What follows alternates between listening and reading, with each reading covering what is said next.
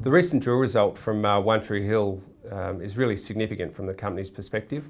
To have identified a new mineralised uh, system 15 kilometres south of Nebo Babel in really an area that hasn't had a lot of exploration. This is the fifth hole that's been put into that. So for us, it uh, really does show that, the, that we're in a, a, mining camp and the value of the project area.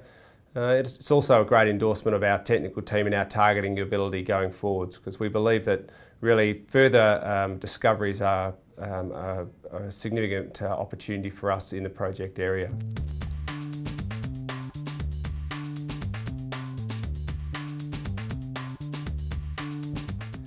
The, the success of the drill hole at One Tree Hill um, is significant for the joint venture and the project going forwards.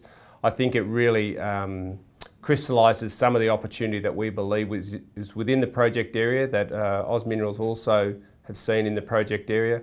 It gives us a great opportunity now, based off the, the back of this uh, drill hole, to uh, continue our exploration strategy and identify um, you know, significantly more mineralisation and hopefully define another deposit along that sort of prospective corridor that we have.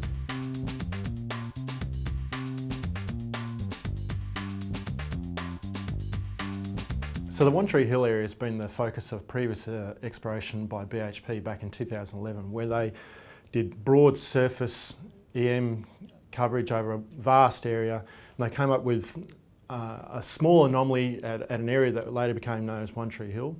They drilled two holes. Um, they got some encouragement from those holes, um, but didn't hit any really significant mineralisation. However, downhole EM of those holes uh, showed that there was a, a, large but poorly constrained EM conductor underneath the second hole. So in 2015, we reprocessed, remodelled, uh, reinterpreted the, the data from that work and came up with what we thought was a really interesting uh, conductor uh, underneath that second hole and that was worthy of a drill hole.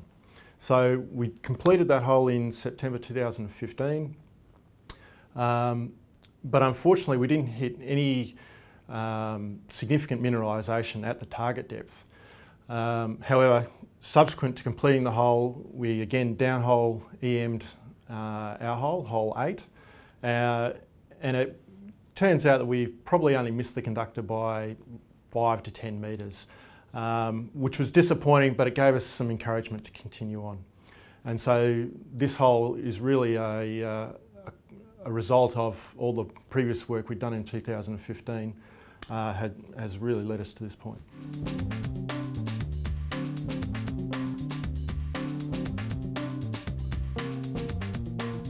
I guess the, the important thing about the drill hole is that it, it's got all the hallmarks of another large magmatic mineralised system.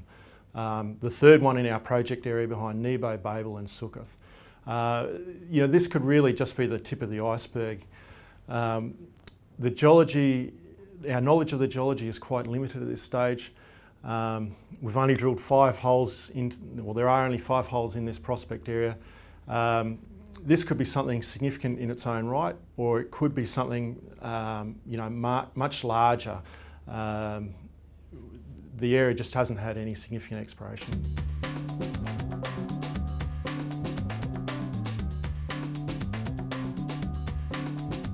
So we're waiting for the assay results which will come in, in January, but we'll also do further downhole EM to see if we can find any other potential conductors um, sitting around this mineralisation. We've got a lot of geological interpretation to do. Um, we need to log the hole in detail. Um, we'll do a full assay suite. Uh, there's a lot of information to be gained from this hole. But ultimately, what we're working towards is, is another follow-up drill program sometime in the new year.